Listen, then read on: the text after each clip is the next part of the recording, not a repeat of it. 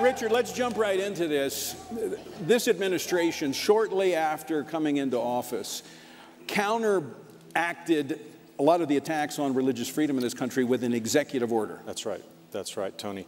And, and uh, you know, Folks, I just want to mention something here about religious freedom. It is the first freedom in the Bill of Rights, and it's the first for a reason, because all of our freedoms depend upon that freedom. You see, the, the goal of the enemy is to silence the church, and that's what we're dealing with here. And thank God we have a president who has taken a stand for religious liberty. Within four months of his inauguration, he signed an executive order that said that it would be the policy of the United States government to vigorously enforce protections under federal law for religious liberty across the board. And also, he said, in that in that executive order, he also said that he directed the IRS to take no adverse action against any religious organization or house of worship for speaking out on political or moral issues, uh, so long as they're not violating. Or, yeah, that's right. So a very a very important step, first step in the Trump administration that I believe has reset the tone and the agenda in the federal government. In just a, a, few moments, we're going to hear from one of our pastors in California. But California has been really at the tip of the spear in a negative sense of outright attacking biblical views as, and the practice of religious freedom. That's right. T tell us about that, Richard. Well, over the last year, one of the most alarming uh, headlines, and you guys may remember this, was there was a bill introduced in the California legislature. Uh, it was AB 2943. People called it the Bible ban. But this bill made it, would have made it illegal to uh, uh practice sexual orientation change therapy. That's code word for no pastor and no counselor and no psychologist could legally help someone leave the gay lifestyle, even if they wanted to.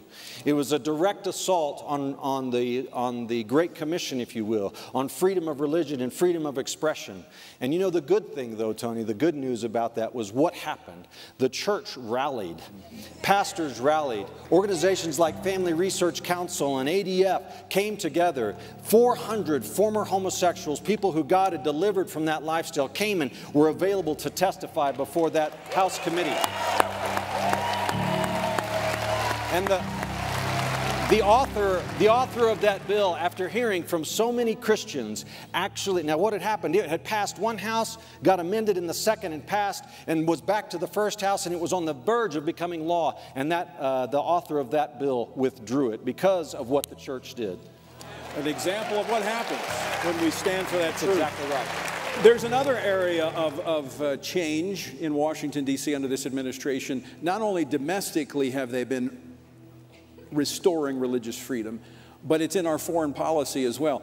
The first ever ministerial to advance religious freedom was held back in July of this month with over 80 different countries coming to America to hear about what America is doing and wants to see happen on religious freedom. Oh, yeah, it's, it's amazing what this administration is doing to protect religious liberty abroad. Uh, time doesn't permit us to go into it, Tony, but one of, the, one of the most wonderful things happened just a couple of weeks ago because of the pressure and diplomacy of the Trump administration. Pastor Andrew Brunson, who was wrongfully imprisoned in Turkey because of his faith, was released.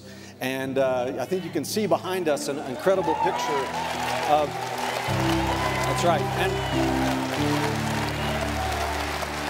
And, and, and, Tony, I think you had the, the amazing privilege of actually being involved in that process, and it would be awesome to hear a little bit from your perspective on that. Well, I, I was asked to, to be there uh, in, in Turkey for his last hearing, and when he amazingly was released, and it's a story in itself. It was not anticipated. He was released. The White House asked me to escort him home, and so I was with him flying from Turkey back to the United States, where he prayed for the President of the United States. And this administration worked on this day in and day out. Richard, you're absolutely right.